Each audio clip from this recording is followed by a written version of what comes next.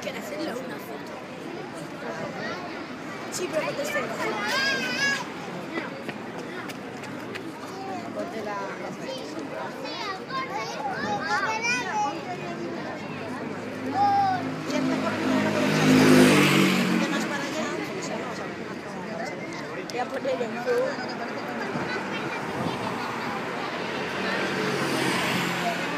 Yo cuando estoy un poquito más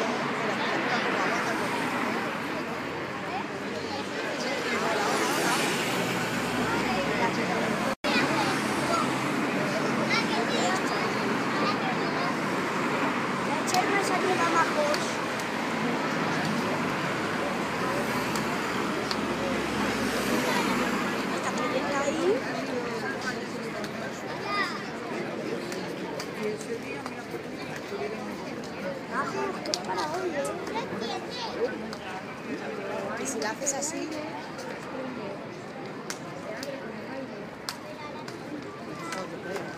Che, pero. Mira, ahora, ahora, ahora está bonita. Ay,